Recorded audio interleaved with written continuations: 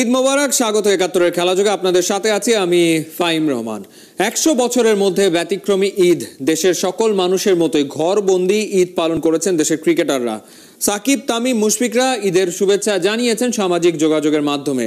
প্রত্যেকের শুভেচ্ছা বাক্যে ছিল নিরাপদে ঘরে থাকার আহ্বান। নিজেদের অ্যাপার্টমেন্টের ছাদে ঈদ জামাতের আয়োজন করে নজর কেড়েছেন ক্রিকেটার শারিয়া নাফিস। ঈদের দিন দেশের তারকা ক্রিকেটারদের ফেসবুক পেজে নজর রেখেছিলেন শামসুল আরিফিন।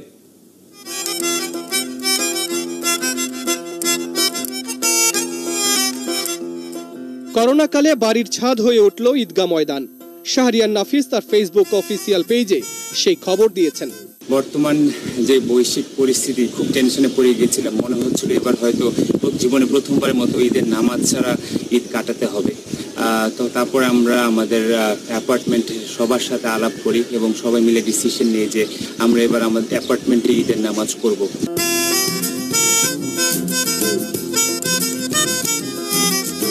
নাফিসের মতো ঈদ জামাতের ছবি না দিলেও নিজেদের ফেসবুক পেজে ঈদ শুভেচ্ছা জানিয়েছেন বেশিরভাগ tiger. One day captain Tamim Iqbal পরিবারের ছবি দিয়ে ঈদ মোবারক বলেছেন ভক্তদের। সবাইকে ঘরে থাকার আহ্বানও জানিয়েছেন। আমেরিকায় বসে তামিমের মতোই পরিবারের ছবি দিয়ে সাকিব লিখেছেন, আমাদের পক্ষ থেকে সবাইকে ঈদ মোবারক। সাথে করোনা ভাইরাস থেকে রক্ষা পাওয়ার পরামর্শ তো ছিলই। মুশফিকুর রহিম অবশ্য একার ছবি দিয়ে সবাইকে ঈদের শুভেচ্ছা দিয়েছেন। সাথে ছিল পরিবারের সকলের সাথে ঈদ আনন্দের এক দারুণ বার্তা। দারুণ ডিজাইনের পাঞ্জাবি পরে ছবি তুলেছেন মাহমুদুল্লাহ রিয়াদ। শুভেচ্ছা জানিয়ে সবাইকে ঘরে থাকার অনুরোধ জানিয়েছেন এই সিনিয়র। পরিবারের বেশ কজন সদস্যদের সাথে ছবি দিয়ে স্বাস্থ্যবিধি মেনে থাকার পরামর্শ দিয়ে পেসার রোবেল হোসেনের ছিল ঈদ শুভেচ্ছা। কাটার মাস্টার মুস্তাফিজুর রহমান ঘরে থেকে ঈদ পালন করার পরামর্শ দিয়েছেন ভক্তদের। ঈদের বিশেষ খাবার হাতে ছবিতে দেখা যায় নারী দলের তারকা ক্রিকেটার জাহানারা আলমকে। তিনি সামাজিক দূরত্ব রক্ষার তাগিদ দিয়েছেন ঈদ শুভেচ্ছায়। সৌম্য সরকার ঈদ শুভেচ্ছা জানিয়ে ঘরে থাকার আহ্বান জানিয়েছেন ভক্তদের। লিটন দাসও জানিয়েছেন ঈদ শুভেচ্ছা। কঠিন সময়ে নিরাপদে থাকার আহ্বান এই ওপেনারের। দেশের ক্রিকেটের অভিভাবক সংস্থা বিসিবি শুভেচ্ছা জানিয়েছে, সেখানেও ছিল নিরাপদে থাকার আহ্বান। শামসুল আরিফিন, একাত্তর। ঘরবন্দি মানুষের ঈদ আনন্দ আটকে গেছে গণ্ডির ভেতরে, আর সেই গণ্ডিতে থেকেই প্রিয়জনদের সঙ্গে ঈদ উদযাপন করছেন ক্রীড়াবিদরা। মুশফিক রিয়াদরা যেমন সামাজিক যোগাযোগ মাধ্যমে বার্তা দিয়েছেন, ভক্তদের তেমনি ঈদ শুভেচ্ছা জানিয়েছেন সালা রাশিদ খানরা। সবার শুভেচ্ছা বার্তা এক করেছেন দেব চৌধুরী। সিকান্দার রাজার ঈদ যেমন তেমনই বাবার আজমের জন্য। উৎসবের শুভেচ্ছা জানিয়েছেন টুইটারে নায়ক টাইপের ছবি দিয়ে।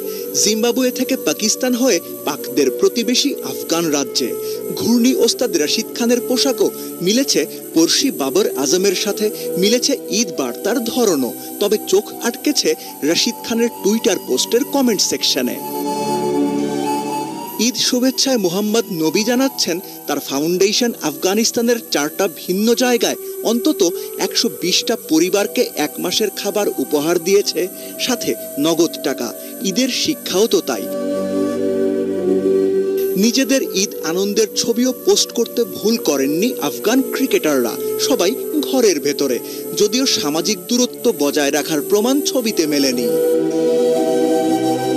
এশিয়া থেকে ইউরোপে ক্রিকেট থেকে ফুটবলে। টুইটারে বেঞ্জামিন মেন্ডির ঈদ শুভেচ্ছা। মেন্ডি নিজের ছবি দিলেও খুব সাধারণভাবেই ভক্তদের ঈদের শুভেচ্ছা জানিয়েছেন মোসালা ফুটবল এবং লিভারপুল নিজের জীবনে ঠিক কতটা ধারণ করেন সাদিও মানের ঈদ বার্তার ধরনেই স্পষ্ট। একই ঘটনা মেসুদ ওজিলের বেলায়। ঈদ শুভেচ্ছায় আর্সেনাল জার্সিতে জার্মান মিডফিল্ডার। খুঁজলেই সামাজিক যোগাযোগ মাধ্যমে পাওয়া যাচ্ছে চেলসি ডিফেন্ডার আন্তনিও রুডিগার কিংবা উসমান দেম্বেলেদের। ঈদ শুভেচ্ছার ধরনও প্রায় একই রকম, যেখানে ফুটবলারদের সাথে সাথেই সমর্থকদের শুভেচ্ছা জানাতে ভুল করেনি ক্লাবগুলো। দেবচৌধুরী একাত্তর। সবাইকে ঈদের শুভেচ্ছা জানিয়েছেন যুব বিশ্বকাপ জয়ী বাংলাদেশ অনূর্ধ্ব উনিশ দলের ফিটনেস ট্রেনার রিচার্ড স্টোইনিয়ার সেই সাথে পরিবার আর বন্ধুদের সাথে নিরাপদে থেকে ঈদ পালনের আহ্বানও জানিয়েছেন তিনি Assalamu alaikum. Uh, happy Eid Mubarak to all my brothers across the world. Um, enjoy your special blessed uh, day with all your friends, your family. Keep enjoying the moments, keep enjoying the day, and most important of all, embrace the panic with patience, and we will get there in time, inshallah. Tika say, Shabbat Shanain. Enjoy. Thank you, Pagla Bye. Tika say. ক্রিকেটারদের মতো বাড়িতে থেকে ঈদ উদযাপন করেছে অন্যান্য ডিসিপ্লিনের অ্যাথলিটরা। স্বাস্থ্যবিধি মেনে স্থানীয় মসজিদে নামাজ আদায়ের পাশাপাশি পরিবারের সাথে সময় কাটিয়েছে। সবাইকে ঈদের শুভেচ্ছা জানানোর পাশাপাশি তাদের প্রার্থনা যেন দ্রুততম সময়ের মধ্যেই কেটে যায় বর্তমান অচলাবস্থা। সবাইকে ঈদের অনেক অনেক শুভেচ্ছা। এবার একটু একটু ভিন্ন ধরনের কাটছে। সবারই একটু মন খারাপ, সবাই একটু আপসেট নেই যে প্রতিবারের মতো ঈদটা কাটাতে পারছি না। এটা আমারও হচ্ছে কারণ আমরা প্রতিবার অনেক হই হুল্লো করে অনেক প্ল্যানিং করে ঈদ কাটাই। এবার ঈদটা অনেকই ভিন্ন ধরনের। হয়তো বাহিরে ফ্রেন্ডদের সাথে ঘোরাঘুরি করতে পারছি না, কিন্তু ঘরের পরিবারে বাবা মায়ের সাথে ঈদ কাটানো একটা অনেক মজার ব্যাপার? সবাই সুস্থ থাকবেন। সবার জন্য অনেক শুভকামনা রইল এবং সবাইকে আবারও ঈদ মোবারক আসলে এখন বড় হওয়ার সাথে সাথে আর কি সবকিছু চেঞ্জ হয়ে গেছে। এখন আমাদের আর কি ছোট যারা ভাগ্নে বাঁচতে তাদেরকে সালামি দিতে হয়।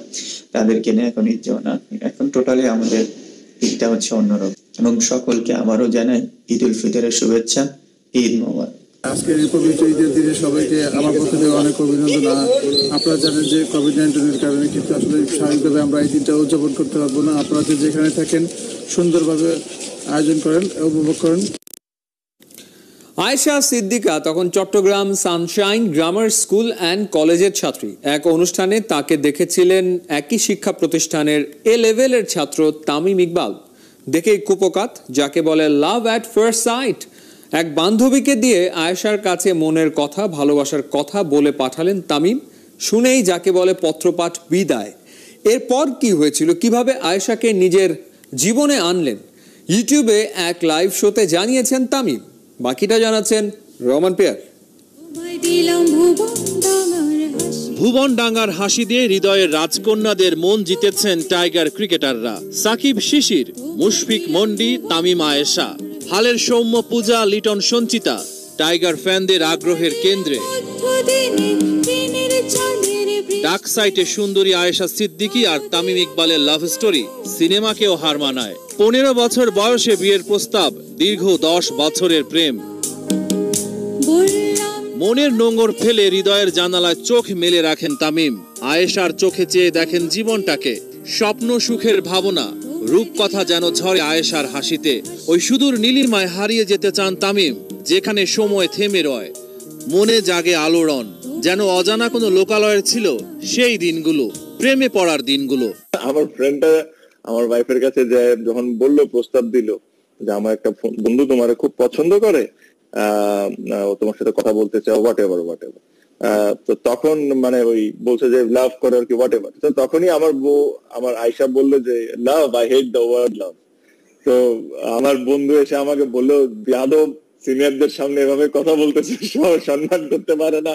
হ্যাঁ তো আমার ওই বন্ধুটা খুব অফেন্ডেড ফিল করছিল বাট বাট ওখান থেকে আমি হাল ছাড়ি নেই, ধরেছিলাম কোনোভাবে। তো ইভেন্চুয়ালি দুই, তিন মাসের মধ্যে সামাও হয়ে গেল আর কি। দুরন্ত প্রেম ঝর্ণা ধারার মতো ছুটে চলে মনের মানুষের ঠিকানায়। দুটি মন এক হয়ে ছবির মতো জেগে রয়। ফুলের মতো সৌরভে ভরিয়ে দিয়ে এক হয় মনের বাঁধন। আমি যখন ন্যাশনাল টিমে খেলি যখন ন্যাশনাল টিমে প্রথম সুযোগ পাই আমার ব্যাংক অ্যাকাউন্টে পনেরোশো টাকা ছিল। যেদিন সে তাকে তার পরিবার থেকে আহ, মালয়েশিয়ায় পাঠিয়ে দেওয়া হলো স্টাডিজ এর জন্য ঠিক ওই দিনই কিন্তু আমি ন্যাশনাল টিমে কল পেয়েছি। আল্লাহ কি একটা রহমত আমাদের উপর? যদি আমি ওই সময় ন্যাশনাল টিমে না খেলতাম তাহলে এই প্রেমটা থাকতো না বিকজ ওই সময় প্রতি মিনিট বিশ পঁচিশ টাকা করেছিল ইন্টারন্যাশনাল কল তা আমি একটা টাকাও পাইতাম না প্রেমও চালিয়ে রাখতে পারতাম না। তো সামাও এটা মিলে গেল। ওর স্কুল শেষ হইতেও তারপরে এক ঘণ্টা সময় পাইতাম আমরা কোনো একটা জায়গায় দাঁড়ায় এক ঘণ্টা কথা বলতাম আর সে চলে যেত পরের দিন আমি এরকমই করতাম। আমার কাছে মনে হয় যে আমি আমার বিয়ের আগে আমি দশ বছর আমার ওয়াইফের সাথে সম্পর্ক ছিলাম। আর এই দশ বছর ওয়াজেন্ট ইজি এটা খুবই ডিফিকাল্ট ছিল। এটা আল্লাহ যদি আমাকে অবস্থায় না রাখতো তাহলে এটা সম্ভবই থাকতো না। বিকজ এখানে এটার পিছনে আমার শ্রম টাকা পয়সা অনেক খরচ হয়েছে। সকল কাঁটা ধন্য করে দু হাজার তেরো সালের জুনে বিয়ের পিড়িতে বসেন তামিম আয়েশা। রহমান পেয়ার, একাত্তর। বাইসাইকেল রেস ইউনিসাইকেল রেসের নাম তো শুনেছেন, এবার জানুন পেনি ফার্ডিং রেসের কথা। বাইসাইকেলের অদ্ভুত ডিজাইনের জন্য উনিশ শতকের শুরুর দিকে বেশ জনপ্রিয় হয়ে ওঠে পেনি ফার্দিং রেস এরপর বিলুপ্ত হয়ে গেলেও একশো বছর পর আবারও ফিরে এসছে এই রেস